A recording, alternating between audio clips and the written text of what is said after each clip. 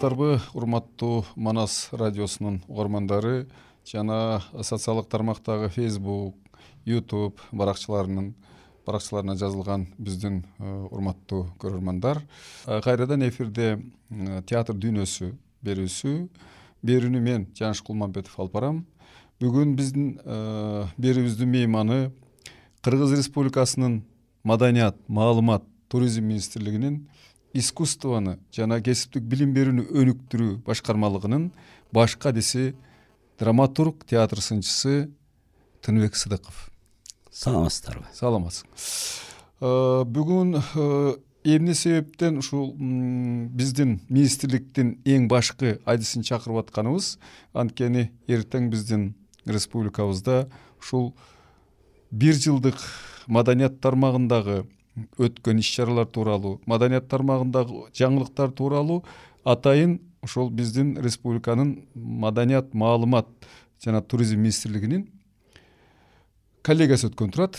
Ошол коллегияда ушул бүтүндөй бир жылдын ичиндеги иш чаралардын баардыгы тең толук бойдон айтылууга тийиш анан албетте эми коллегия бул өзү мындай тар чөйрөдө өтөт. Негизинен ушул биздин тармактын жетекчилери ушул тармактын өкүлдөрү гана катышат.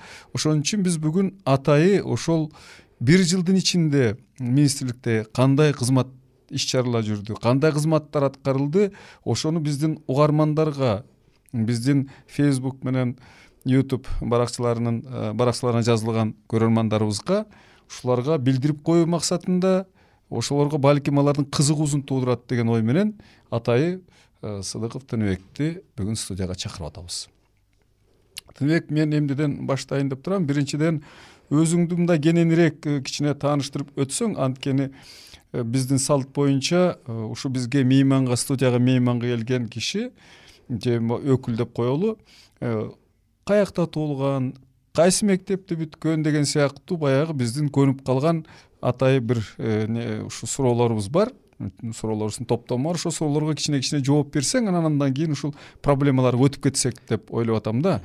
Биринчиден каяктын кулунусуң мен биринчиден айтсам өзүм ош областынын алай районунун кулунумун алайда будалык деген айылда кичинекей айылчабыз бар кара суу деген ошол жерде бир миң тогуз жүз алтымыш бешинчи жылы алтымыш биринчи жылы жыйырма бешинчи декабрда төрөлгөнмүн бир миң тогуз жүз жетимиш тогузунчу жылы кара суу атындагы орто мектепти бүтүргөмүн азыр жээңкүл кыпиев атындагы орто мектеп болуп калды андан кийин армияга кеттим армиядан келгенден кийин эки жыл кызмат өтөп келгенден кийин бир эки жерде иштедим текстил комбинатында иштедим алты ай алай райондук колхоз базарында иштеп калдым водитель болуп андан кийин ош областындагы ош областындагы азыркы султан ибраев атындагы кыргыз драма театрында азыр ош улуттук болуп калды ошол театрда беш жыл монтировщик машинист ага машинист болуп иштедим. Андан кийин бир миң тогуз жүз сексен экинчи жылы ташкент шаарындагы островский атындагы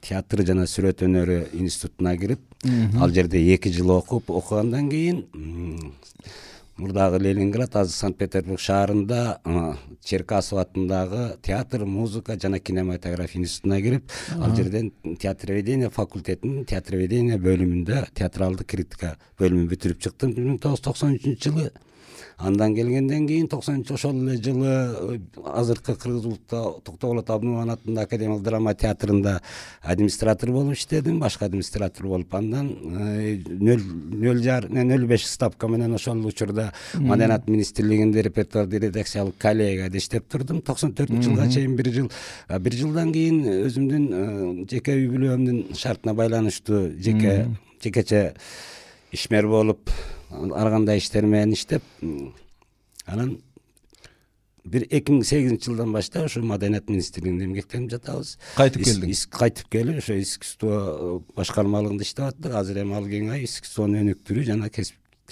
билимдерин өнүктүрүү башкармалыгы болуп калды. Ошол жерде адис болуп эмгектенип жатабыз. Менде бир эки суроо бар. тыныбек биринчи суроо будалык бул алымбек датканын курманжан датканын жеринен канчалык алыс алыс эмес жакын. Биз ошол э, алымбек датканын урпактары болобуз Ошонун тукумдарынан? Тукумдары болобуз ал барпы урусунан ошо барпыдан тооке деген уру келип чыккан ошо барпынын баласы тоокенин балдарынан болобуз ал жакын эле биз биздин айыл он бир километр турат күлчөгө күлчөнүн оң тарабында жошол деген айыл жайгашкан ал жошодон жети километр жаңы турмуш деген жошонун кире беришинде айыл бар. Ошол айылдан алымбек датка болот ошо алымбек датканын урпактарыбыз курманжан датка биздин чоң энебиз түздөн ошол алымбек датка менен курманжан датка менен сыймыктана турган биринчисилер экенсиңер эми экинчи суроом бул ушул театр чөйрөсүнө бул өзү кызык да колхоз базарында иштесең андан тышкары ошол айыл жергесинде иштесең анан кантип ушул театрга иштегенге мындай бир кызыгуу пайда болду негизи мен башынан эле театрга кызыгып жүрчүмүн бизде ошо мектепте окуп жүргөндө театрлар гастролдорго көп барчу. Мен ошо жаш кезимде эле кийин аны жакшылап түшүндүм. Адилбек Ди- дыйканбаевдин мүрөктүн суусу деген чыгармасы менен коюлган спектакльде ошо будалык алып барып биздин мектепте чоң спорт залыбыз бар эле сахнасы менен ошол жерде көрсөтүп калышты.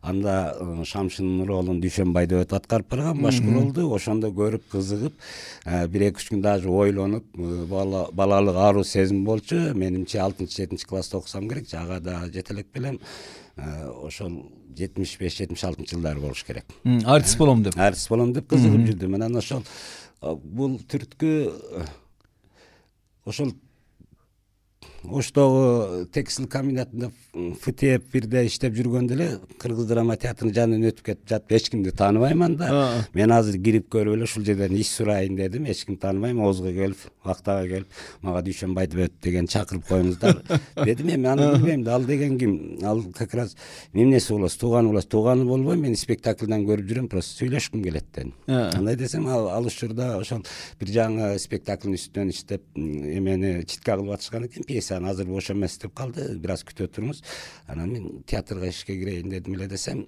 ал алымгазы конушбаев агайыбыздын жубайы экен э, конушбаев эжебиз ал алымгазы конушбаев театрдын сүрөтчүсү ал башкы сүрөтчүсү болчу. А эжекебиз болсо ошол адил кадр экен. Кадрлар бөлүмү боюнча экен. Анан окууну сурап калды. Мен эч нерсени бүткөн эмесмин бирок ийримдерге катышып жүргөм мектепте. Менин ошо талантым бар ана мына десем бизде окууну бүтүп келгенди алат окууну бүтпөсө албайт бир аз туруп турчу дегенде бирөө өтүп калды шап кепка кийип алыптыр сурап апсамат апсамат деп калды анан апсамат деген агайыбыз келип могуну ишке албайсың деди ал айтты бизде дипломуң жок болсо монтировщик деген жумуш бар ошого алайын айлык аз бүгүн келесиң эртең келесиң бүрсү күнү келесиң иш жок анан кетесиң да ал бир күнү келбей койгондо иш болуп калат айдап жүрөт ошон үчүн иш жок болсо да келип туруш керек деди а мага айлыгынын кереги жок эптеп театрга ишке кирсем болду дедим назира мамбет эжебиз өтүп кетип аткан экен анан ошо ай назира ама балага акча керек эмес экен керек эмес экен бул иштей берсин айлыгын сен ала бер деп тамашалап ошентип анын үстүнө алып чыгып сахнанын артында кабинети бар экен ошо кабинетке киргизип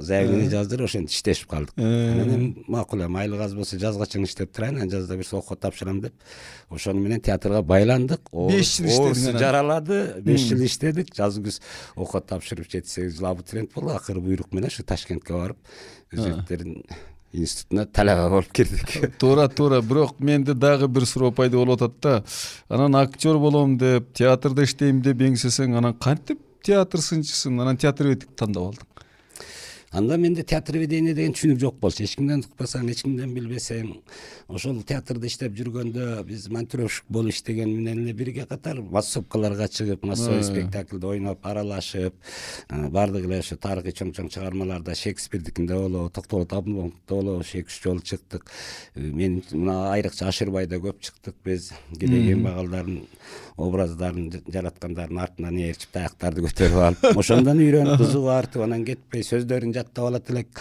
биз өзүбүзчө кайталап баягы сөздөрдү айтып жүрүп эле анан окууга кызыгып акырында анан ошо аскар арыкбаев дегенибиз бар ушундай сен ушуга бар таланттуу актер болчу раматылык ошол актербуз сен театр ведение деген ушундай нерсе бар ошого даярдан окуу бүт искусство жаатында баардыгын окуп билсең ошого барасың кызыктырып анан бул кесип жөнүндө түшүнгөн түшүнүк алгандан кийин анан биротоло оодум да а жок ал эмне себептен мисалы арыкбаев сага айткан жок тыныбек сен ушу актер болсоң болот экен актер бол ошол эле ташкентке барып актердик кесипти окуп чык деп айткан жокпу актерлукту мен өзүм актерге кызыгып жүргөм ал жөндөмүң жөндөмүң бир аз актерлукка караганда ушул жака уклон бар экен көп көп анан анда искендер рыскуловдон кийин бектен абдулдаев агайыбыз башкы режиссер болуп калды ал дагы ошо мен байкап калгам го көп баардыгы ишти бүтөөр менен качат сен спектакльдерди көрүп аркасында кызыгып угасың кунт коюп угасың сен бар деп алар да коштоду анан мен түшүнүк ала баштадым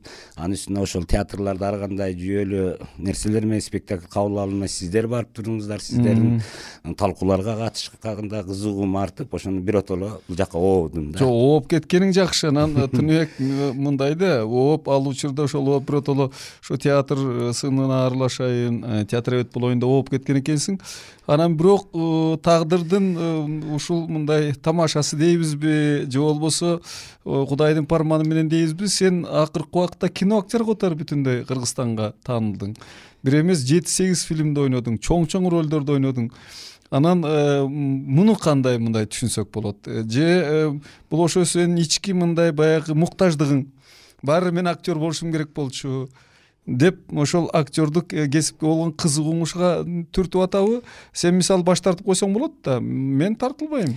Эми баягы жаш кезде калыпталып калган ошо актерго кызыгуу нерсе ал өчпөйт экен да жашкы аруу сезим чоңойгондо деле жаш өткөндө деле кала берет экен. Бирок ал негизинен туура айтасыз бар болчу ошо кызыгып киного түшсөм театрда ойносом деп кызыгып жүргөн нерселерим бар болчу. Эми баары бир театрдан алыс кеткен жокпуз. Театроведенияны театр таанымын кабыл алып тандасак деле баары ошо театрда иштеп актердук кесипти көрүп кээде өзүң ойногуң келет. Карап отуруп ошентип кызыгып жүрүп акыры анан э, сиздин артыңыз менен кинолорго тартылып калдык андан башка бирөөлөр чакырып тартылып буюрса аралашып калдык эми аны кандай кайсыл деңгээлде кандайча ойноп жатканын мен актер эмесмин бирок актер эмесмин деп актанууга да болбойт анткени ойногондон кийин актерсуң актер эмессиң образдын өтөсүнө чыгыш керек. Анан эми көрүүчүлөр өздөрү талдап өздөрү баалашсын дейбиз туура туура э, урматтуу манас радиосунун угармандары мен тыныбек сыдыков жөнүндө дагы сиздерге кошумча маалымат берип коеюн э, ушул акыркы он он бир жылдын ичинде э, он чакты фильмге болгондо дагы өтө мындай олуттуу олуттуу ролдорго тартылды. Ролдорго тартылганы дагы бир жөн. Экинчиси ушул ойногон ролдорунун бир топторун ушу биздин чөйрөнүн өзгөчө ушул театр менен түздөн ушул киного тиешеси бар адамдардын мындай жакшы баасын татып бул мыкты актер экен. Көркү дагы келбети дагы ушул киного жаралган сыяктуу экен деген ушундай баасын алган адамдардан. Ошон үчүн мен айтып атканым ошол. Демек э, теория менен кошо ошол эле учурда журналистика менен кошо деп коелу. Анткени эми бул көбүнчө бул жазма э, театр жазма иши бул журналистикага мындай жакын турат ошол эле учурда актердук практиканы дагы кошо ала жүргөнү менимче ушул баары бир баягы көкүрөгүн уялаган бир кездеги артист болом деген оюнун өтөсүнө чыкканы деп түшүнсөк болот деп ойлоп атамын да. Анан тартылган фильмдерин айтып коеюн. Бул биринчи кезекте э, кандуу сүйүүнүн экинчисинде тартылган кайыкчыны ойногон андан тышкары жараланган турналар деген э, фильм бар. Ал фильмде башкы ролду айгерим расул кызы менен айдын шер ойношкон. Ошол жерде айдын шердин фильмдеги атасынын ролун ойногон өтө кызыктуу менимче ролдордун бири деп ойлоймун андан кийин каргыш деген фильмге тартылган э, андан кийин э, каргыштан кийин жапайы селки деген фильмге тартылды. Бул фильм менимче ушул тыныбектин өтө мындай көрүнүктүү ролдордун бири болсо керек. Ушул ролду көргөндөн кийин биздин мугалимибиз биздин эжейибиз офелия шергазиевна эркинбаева деген режиссер э, эжебиз бар. Кыргыз республикасынын ошол киши. Бул абдан чоң артист турбайбы деп баа берген. Аны мен өз кулагым менен укканча сиздерге айтып атамын. Мына андан тышкары дагы э, исхак разаков жөнүндө э, фильм пайда болду мындан эки жыл мурун разаков тууралуу ошондо ташировдун ролун кадимки бүтүндөй советтер союзуна таанылган э, пахта колхозунун атактуу директору колхоз эмес совхоздун директору ташировдун ролун ойногон демек ушунун баардыгы тең ушул тыныбектин чыгармачылык жүгү чыгармачылык байлыгы деп айтсак болот эми тыныбек бул маалыматты мындай биздин угармандарга биздин фейсбук менен ютуб баракчасына жазылган көрөрмандарыбызга маалымдап койдук эми мендеги суроо мындай мына бир жыл өтүп кетти бир жылдын аралыгында э, ушул театр жаатында маданият министрлигинин алып барган иштеринин бир тобунда көзгө көрүнүп турат. Бирок менде мындай бир суроо болуп атат да. Былтыр ушул мезгилде биз э, театрлар таймаш деген таймашты баштадык эле. Э, таймашыбыз э, эгерде мен жаңылбасам март апрелдин башында барып токтоду эле андан бери эмнегедир дымып калды. Таймаштын акыры болобу же болбойбу? Таймаш былтыр өзүңүзгө маалым бизде минкультурада аябай катуу дискуссия менен ар ишеми күндөрү чогулуп театрды кантип көтөрүү керек садык шер мырза баш болуп биздин министрибиз алтынбек максутов баш болуп баардык театрдын көркөм жетекчилерин директорлорун чакырып алып ушул театрды көтөрүү маселеси бир топко созулган ошол учурда таймаш деген табылып таймаш негизинде ушул театрларды баягы кичине оперативдүү ишке алсак ушуну имбеттештирсек ушул аркылуу кичине көтөргөнгө мүмкүн жөлөөк болор деп чыгарышкан. Ал таймаш э, э, шаарда өттү биринчи бишкек шаарыбызда. Андан кийин ош областына түштүк региондун театрлары таймашты. Ага бул жактан талаш театр барып катышты а май айында болсо э, ысык көлдө э, караколдо касымал жантешов атынан музыкалдык драма театрынын базасында ошо нарын көл кочкор району жумгалы району театрлары беттешкен.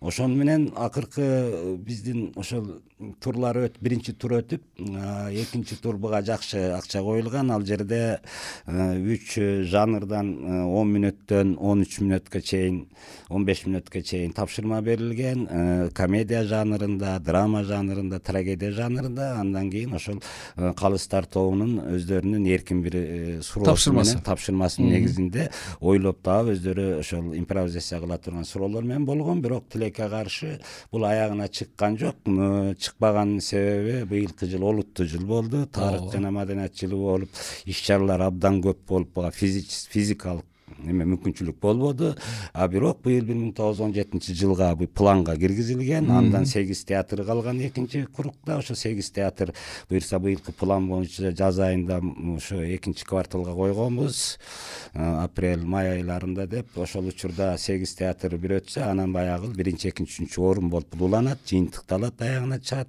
деген ниетибиз бар. Э, эми ошол таймаш э, ошону менен уланат. Анан быйыл бир курук бүтүп жеңүүчүлөр өздөрүнүн энчисин алгандан кийин анан экинчиси баштала башталбы ал эми ушул жыйынтыгынан көрөбүз да. Менде ушул боюнча мындай дагы бир суроо турат да. Ушул таймашты өткөрүүгө былтыр э, маселен бир топ театрлар каршы болушкан таймаш өтүп аткан учурда да каршы болушкан.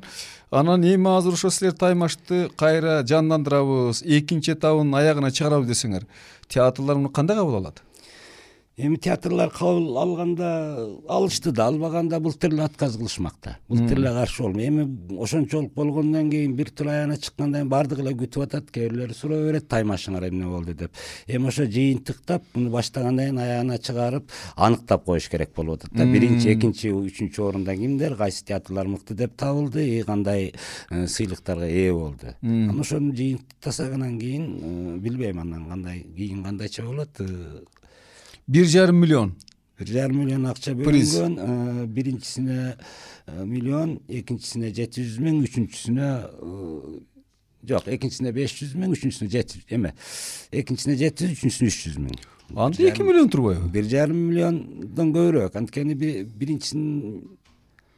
жок биринчисине жети жүз миң экинчисине беш жүз миң үч жүз миң анда бир жарым миллион экен бир жарым миллион берилген бир жарым миллион экен эми албетте эми биздин бир жарым миллион ошо биздин театрлардын маселен айталык ошол спектакльдерди койгонуна жаңы спектакльдерди чыгарганына менимче бул жакшы эле мындай өбөлгө түзөт болуш керек жакшы эле мындай жардам болот болуш керек көмөк көрсөтөт эми бирок чыгармачылык жагынан алганда маселен айталык таймаш эмне берет театрларга эми таймаштын бир гана жакшы максаты бар экен. Ал албетте өтө деле терең эмес бирок театрларды намыска тийгизип оперативдүү иштегенге азыр эми театрда бир спектакльди эки айлап үч айлап коюп атышпайбы жай шашпай анда ошо оперативдүү иштеп чыгарганга болот экен бирок эми мына он мүнөт он беш мүнөттүн ичинде кичинекей үзүндү менен ал театрдын толук деңгээлин текшерүүгө мүмкүн кыйын кыйын болуп калат кыйын экен ошондуктан мунун жакшы жактары да бар жаман жактары да бар эмне эми бул таймаш деген дүйнөлүк практикада болгон эмес баардык жерде эле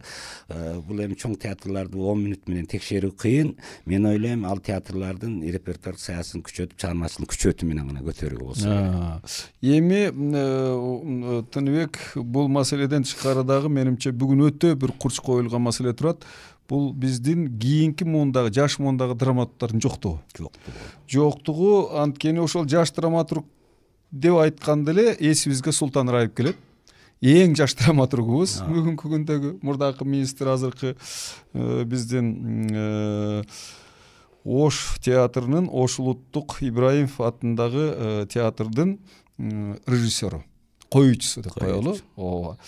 Анан муну эмне себептен мен айтып атамын? Жаш драматургдарды өстүрүш керек да. Аларга мүмкүнчүлүк түзүп бериш керек. А жаш драматургдарды өстүрүш үчүн алар менен бир кандайдыр бир тренингтерди өткөрүш керек семинарларды өткөрүш керек дегендей анан бул жааты быйыл кандай болот. Анткени жылыга эле жаш драматургдардын семинарын өткөрөбүз деп айтабыз. Анан жылына эле эмнегедир өтпөй калып келатат.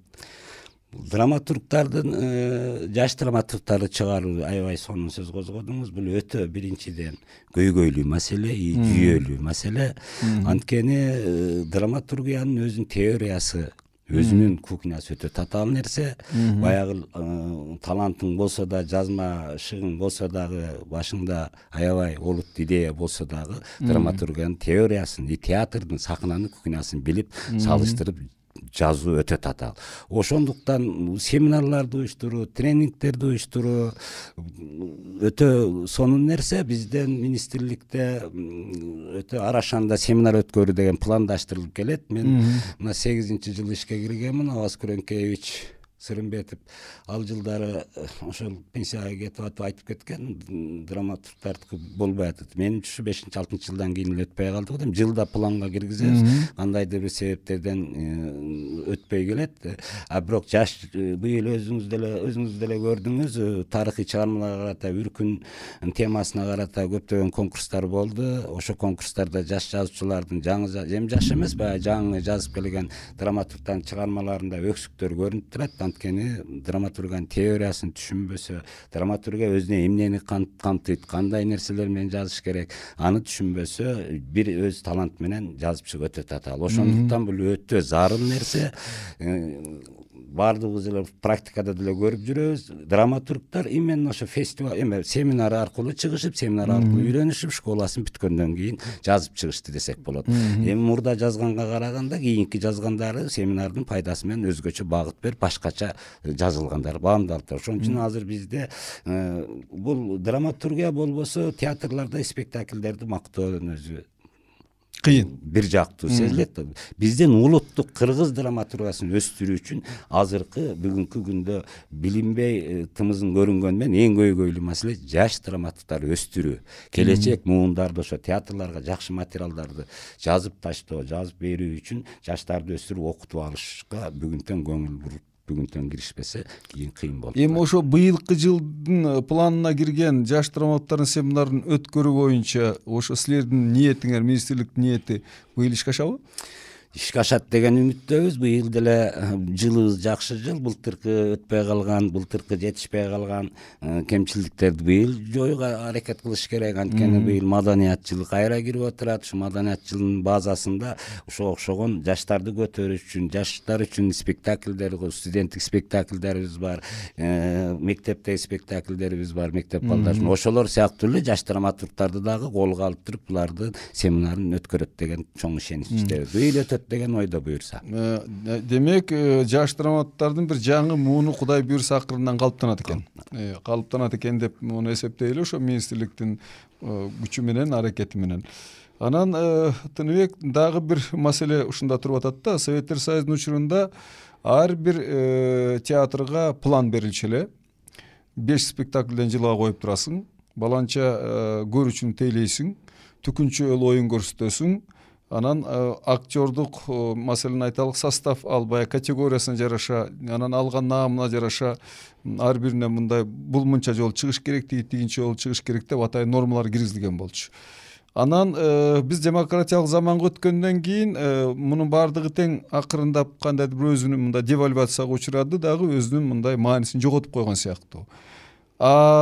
Бүгүнкү күндө театрдын иштеп аткан критерийлерин кантип аныктайбыз?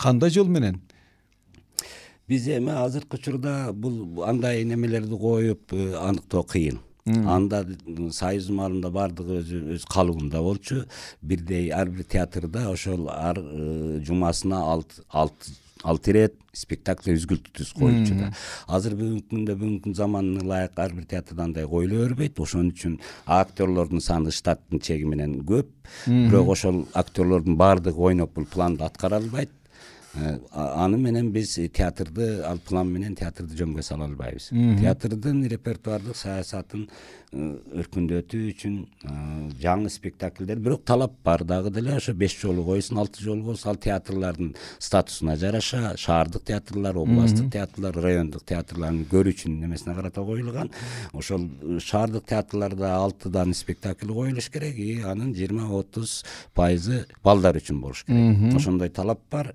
анан ошол критерий негизинде ошолорду аткарса бирок бизде ал спектакльдер аткарылат эң негизги көйгөйү ошол чыккан премьералар кайра сахнада кайра жаңыланып коюлбагандыгы болуп атпайбы бизде. А бизде саны көп болгону менен биз көрүүчүнү тейлөө жагынан ошол чыккан спектакльдерди мамлекеттен кеткен каражатты актоо үчүн и балдардын актерлордун режиссерлордун эмгегин аныктоо үчүн үзгүлтүксүз коюп зритель менен иштеш керек да негизги максат макул ошо көрүүчү менен иштесин театр ошолор менен иш алып барсын. Бирок силер антип айтканы менен эгерде бир нормативдик база жок болсо. Театр айтышы мүмкүн да нормативдик база жок болсо. Мен э, бир жолу койсом да өзүмдүн ишим он жолу койсом да өзүмдүн ишим деп. Же болбосо мен жүз көрүүчүгө көрсөтсөм да өзүмдүн ишим миң көрүүчүгө көрсөтсөм да өзүмдүн ишим. Десек кандай силер ага каршы эмне аргумент кое аласыңар?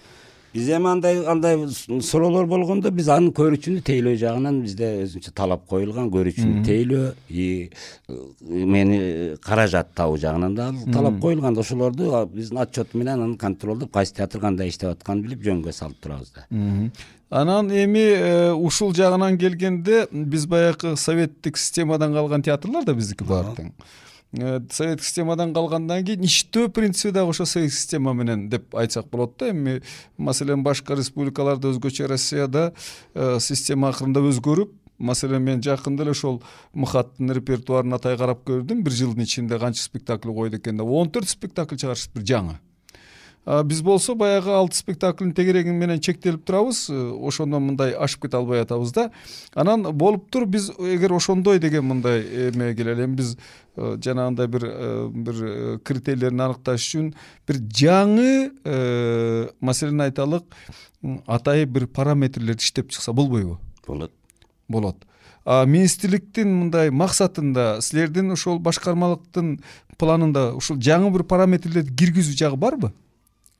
Киргизип атабыз буюрса биз жаңы азыр ушу жаңы сапаттуу чыгармаларды коюу жагынан анан э, конкурстун негизинде жанагы көркөм эксперттик комиссиянын негизинде кабыл алуу менен жаңы талаптар менен жакшы чыгармаларды коюп ошону көрүүчүлөргө жеткизүү максатында. Мисалы жана сиз айткандай он төрт он беш он жетиге чейин да чыгарган бир жылда биздин академ театрыбыз улуттук театрыбыз. бирок ал жаңы чыгармалар чыккан менен сахнада жүрбөй атпайбы? Ошол жагынан өксүктүк жагынан азыр анын э, санында эмес сапатында болуу жагына көп көңүл бурулуп атат. Азыр тескөө ошол жагынан катуураак эми дагы бир маселе. Э, биздин ушул театрларда акыркы ушу мезгилдерде деп коелу. Бул эми биз ушу рынок шартына өткөндөн баштап э, базар экономикасына өткөндөн баштап башталган көрүнүш. Биз улуттук пьесаларды эмнегедир сахнага койгондон койгонго анча кызыкпай калдык анткени мен айтып атканым котормо чыгармалар өтө көп. Э, бул тууралуу биз мурдакы министрге дагы айттык эле э, алтынбек аскаровичке дагы улуттук пьесаларды киргизип анан бир квота киргизип берсеңер улуттук э, маселен драматургия жалпы репертуардын бир алтымыш процентине чейин түшүш керек дегенчи анан эми ушул багытта эмне иштер аткарылып атат силерде бул талап коюлган ошо сиз айткандай эле улуттук эң негизгиси улуттук драматургияны өстүрүү ошол улуттук драматургияны сахналаштыруу багытында алтымыш жетимиш процент деген бизде коюлган. Ошолор жөнгө алынып жатат. Анткени бизде көп театрларда өзүңүз айткандай котормолор башка улуттун башка мамлекеттин чыгармалары коюлуп атпайбы. Алар деле бар планда бирок негизинен басымдуусу ошо улуттук чыгарма боюнча болуп ал боюнча талап бизде жүрүп жатат. Буюрса алтымыш жетимиш процентке барат деген ойдойбуз. Эми ал драматургтардын өзүбүздүн драматургтарында жанагындай семинар өтпөй андай мындай деген деңгээли материалы идеясы жакшы күчтүү чыгармалар жараса кантип коюлбайт коюлат коюлат э эми ошо эми негизи эми биздин ушул театр чөйрөсү тилекке каршы могу азыркы кинодого өзгөрүү абдан катуу абдан күчтүү деп айтсак болот анткени азыркы жаш муун эмнегедир киного дагы мындай белсенип киришип жылына бир элүү алтымыш фильм чыгып атат театрда жыйырма эки театрыбыз бар экен. Эгерде бештен спектакль койсо жок дегенде бир жүз спектакль чыгып туруш керек эле. Бирок тилекке каршы жүз спектакль эле чыгып аткан жок. Бирок маселе мындай бул жерде башка да э, туруп атат да. Э, биринчиден туура биз ошол жанагынтип эгерде квота киргизе турган болсок бул улуттук драматургияны өстүрүүнүн бир жакшы мындай жолу болуп калмак да. Анан тилекке каршы ал дагы анча колго алынган жок.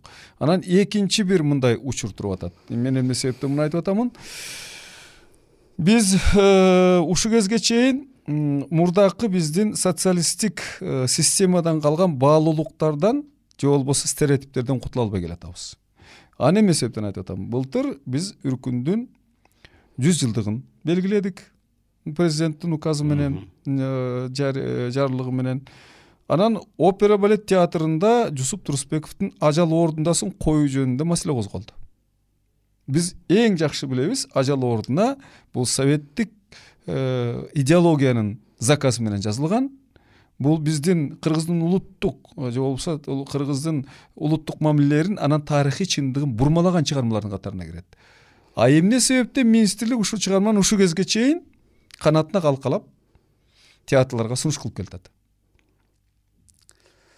мен бул жөнүндө жакшы билбейт экенмин аны калкалабайлы анткени мен э, опера балет театры ушуну коебуз деп абдан кызыкканда мен жеке өзүм айткам либреттосун өзгөртмөйүнчө муну коюуга болбойт. Бул советтик системаны даңазалаган биздин кыргыздын тарыхын бурмалаган чыгарма. Кыргыздын улуттук мамилеси деген бул уруучулук мамиледеги калк да кыргыздар. Ошо уруучулукту бурмалаган чыгарма катары. Өзүмдүн түшүнүгүмө айттым эле ал эми марксизмдин ленинизмдин баягы таптык э, теориясына негизделген чыгарма да. Э, болуптур мейли бул жөнүндө эми балким эми учур келгенде дагы баягы биздин кийинки муун ойлонуп балким муну бир нукка салар бир жаңы талаптар коюлат деген мындай түшүнүгүм бар да. Анан мындан тышкары башка дагы бир менде мындай бир суроо болуп атат ушул эле драматургия жаатында. Мына былтыр экинчи чоң конкурс өттү. Экинчи чоң конкурс ушу тарых маданият жылына карата анын ичинен сегиз чыгарма анын ичинде сенин да чыгармаң. Чыпалак балаң э, мындай сыйлык алып жеңүүчү болуп аталды. Анан ушул сегиз чыгарманын тагдыры быйыл кандай болот. Булар театрга коюлабы а эгер коюлбай турган болсо анда эмне үчүн булар сыйлык алды? Былтыр э, бул чыгармалар ошо конкурстан отуз алты чыгарманын ичинен өткөн сегиз чыгарма жылдын жыйынтыгы кечирээк аныкталып калды былтыркы жылы ошо жетишилбей калган бирок э, арасында кээ бир чыгармаларга э, ошол акча которулган театрларга бөлүнүп берилген андан сырткары ал калем акылары алынды. Конкурстан өткөн боюнча драматургдардын калем акысы берилди бирок театрга быйылкы жылы коюлат деп пландаштырылган быйыл ошол сегиз чыгарманы быйылкы жылы театрларга бөлүштүрүп а быйылкы жылы өзүбүздө дагы он беш э, миллион акчаны которуу маселеси бар. Ошондо ушул чыгармалар каралат. Каралат э? Демек биз ушул чыгармалар быйыл коюлат деген мындай ишенимде болушубуз керек экен. ошол сегиз чыгармага театрлардан бир заказдар түшүп ушуну биз коет элек деген сунуштар келип атабы? Азырынча келе элек келе элек келе элек болсо мына азыр февраль аяктап баратат март жакындап келатат а качан келет эми ал бизде конкурстун негизинде өтүп атпайбы ошо конкурстун дагы конкурс болгондо биз ушу бир мурдагы былтыркы жылкы өткөн конкурстан өткөн чыгармаларды бул биринчи кезекте коюп туруп ошо театрларга жана акча бөлүштүргөндө каралат азыр эми акча бөлүштүрүү башталганда мына экинчи кварталда буюрса театрларга акча которуу башталат ошондо келет экен анан былтыр ушул сөз болду эле ушул чыгармалар тарыхый ушул тарых жана маданият жылына карата атай конкурска катышкан ошо тарыхый чыгармалардын негизинде быйыл фестиваль өтөт республикалык деп. А республикалык фестивалыбыз мына азыр июнь айында өткөн турат. Анан эгерде силерге сунуш маселен мартта апрелде майда түшсө демек ал чыгармаларыбыз күзүдөн баштап коюла башташы мүмкүн экен. Баягы жакшы жагынан айтканда а эгер жаман жагын айта турган болсок он сегизинчи жылы коюлушу мүмкүн. Жетпей калдыбы анан кандай болот анда жанагы биздин былтыркы чечимибиз быйыл ошол тарыхый чыгармалардын негизинде өтө турган фестивалыбыз кандай болуп калды тарыхый чыгармалардын негизинде өтөт деген так сөз жок бизде ал тематикасы жок эле фестиваль берет буюрса анан ал чыгарма ал жерде ар кандай жанрда чыгармалар кире берет катыша берет катыша берет демек булар бул ошол именно ошол тарыхый чыгармалардын фестивали жок өзүбүздүн республикалык фестивалыбыз бар. Ошого ушул чыгармалар кире берет.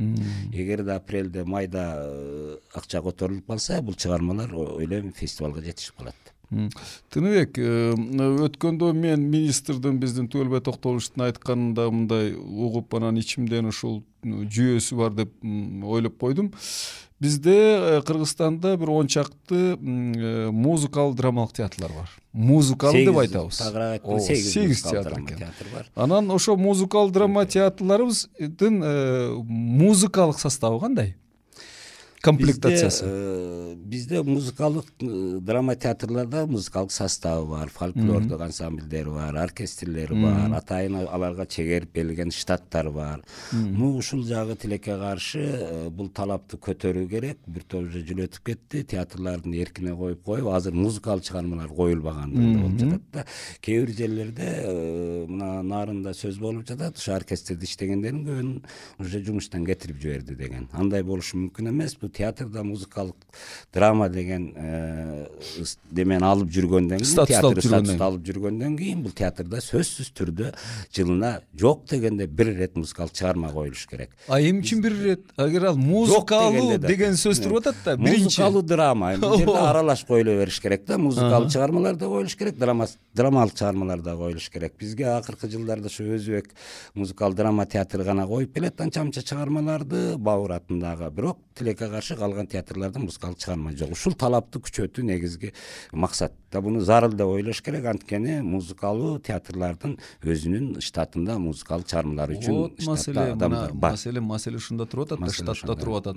анан э, штат боюнча бул музыкалык драмалык театр а иш жүзүнө келгенде э, музыкалуу деген жагынын штатын бөлүп алган койгон спектакльдер жалаң драмалык демек ушул жана министрдин айтып аткан сөзү туура оркестри жок жок дегенде маселен айталык бир инструменти жок да музыкалык драмалык театр болобу деп. Демек менимче муну эми министрлик мындан ары колго алсаңар колго алып бул зарыл талапты көтөрүш керек талапты коюш керек театрлардан. анан бир жаңы мындай бир музыкалык чыгармалар жаралып калышы мүмкүн экен. Анткени болбосо бизде бүгүн опера балет театрынан башка музыкалык драмалык театр дегенибиз өзү жок экен эми менде дагы бир мындай аты бар өзү жок болуп атат аты бар өзү жок ошол тилекке каршы кыргызстанда канча театр болсо элүү пайызын музыкалык театр түзөт музыкалуу түзөт тилекке каршы бир дагы музыкалуу э, драмалык чыгарманы коюшпайт экен эми э, мына бараки биздинге берилген убактыбыз да мындай өтө чукулдап келатат. Э, менде дагы бир мындай суроо болуп турат да тыныбек сен экөөбүз эми бул кесибибиз боюнча театр иликтөөчүбүз театроведпиз алган билимибиз боюнча анан чын чынына келгенде театроведенияга кызыккан театр иликтөөгө кызыккан жаштар бүгүн дээрлик жок деп койсок болот да анан аларды даярдоо мүмкүнчүлүгү да бизде жок. Бирок бизде э, бейшеналиев атындагы мамлекеттик маданият жана искусство университети бар. Анан мына ошол университетте э, эртеңки биздин кыргыздын театрынын тарыхын жаза турган анын теориясын иштеп чыга турган жаштарды тарбиялоого бир мындай мүмкүнчүлүк түзүү жагын силер карап атасыңарбы бул маселе дагы өзүнчө бир татаал нерсе болуп атат бизде албетте бул өтө тар тар чөйрөдөгү адистик кесипке кирип кетет биздин эң кичи жашыбыз азыр эленора турдубекова биз ошон үчүн азыр буга деле баарыбыз ар иш менен болуп жакшы көңүл коюлбай театрдын тарыхы жакшы жазылбай спектакльдер жөнүндө актерлор жөнүндө жазылбай көптөгөн чыгармалар калып кетти көмүскөдө жанагы кумга куйган суудай болуп ошон үчүн бул маселени көтөрүп чыгыш керек. Эки миң онунчу жылы биз немеге барганда э, алма ата шаарына барганда жанагы жүрген атындагы институт менен сүйлөшүп колдоо алып келгенбиз ошол жака окутуу боюнча бирок тилекке каршы материалдык жактан чечилбей ал барбай калды. Ошондуктан биз башка жактарга башка вуздарга жогорку окуу жайларына башка коңшулаш мамлекетте окутуу татаал болгонуна байланыштуу бул ошо университетти ачуу керек муну көтөрүп чыгуу керек. Ошол бир эле ошол э, театрды таануу бөлүмү эмес бизде грим боюнча да жок ар кандай ошогонуңузгу бутафория боюнча да жок ушундай окууларды окутуу үчүн муну колго алып туруп көтөрүп чыгуу маселеси бирок эми ошону силердин э, башкармалыкта ушуну көтөрүп чыгуу керек деген мындай бир идея же бир демилге же бир сөз барбы сөз бар быйыл планга киргизгенбиз айрыкча э, билимин жогорулатуу боюнча киргиздик повышение квалификация. деп квалификациясын. Андан сырткары стажировкаларга ушу башка шаарларга бир ай эки ай үч айлык мөөнөттөрдө киргизилген анан келечегинде бул э, университетке дагы ушу базаларды киргизүү сөз болуп жатат бирок быйылкы планда жок планда ошол стажировканы квалификацияны жогорулатуу боюнча киргизилген рахмат рахмат тыныбек бизге ушу биздин студияга келип маек куруп бергениңе менимче биздин угармандарыбыз дагы көрөрмандарыбыз дагы фейсбук менен ютубтагы ушул ата жазылган буларга да абдан мындай кызыктуу болду го деп ойлоймун анткени биз ушул биздин түздөн түз театр искусствосуна улуттук э, сахна искусствосуна тийиштүү маселелердин бир топтомун э, бүгүн менимче бир топ мындай ачык э, курч сүйлөшүп алдык деп ойлоп атамын. Рахмат ушу келип бизге бир мындай маанилүү маек куруп бергениңе урматтуу манас радиосунун угармандары. Урматтуу биздин фейсбуктагы ютубтагы Э, баракчаларыбызга жазылган биздин көрөрмандарыбыз. Бүгүн сиздер театр дүйнөсүндө берүүсүнүн күбөсү болдуңуздар. Э, биздин э, бул берүүбүздү сиздер жана мен жогоруда айтып аткан фейсбуктан ютубтан көрө аласыздар манас медиа деген ат менен манас медиа деп кире турган болсоңуздар ошол жактан көрүүгө сиздердин мүмкүнчүлүгүңүздөр бар бүгүн бизде мейманда кыргыз республикасынын маданият маалымат туризм министрлигинин искусствонун жана кесиптик билим берүүнү өнүктүрүү башкармалыгынын баш кадиси театровед драматург ошол эле учурда киноактер тыныбек сыдыков болду э, сиздерге аманчылык каалаймын саламатта берүүнү мен жаныш кулманбетов алып бардым.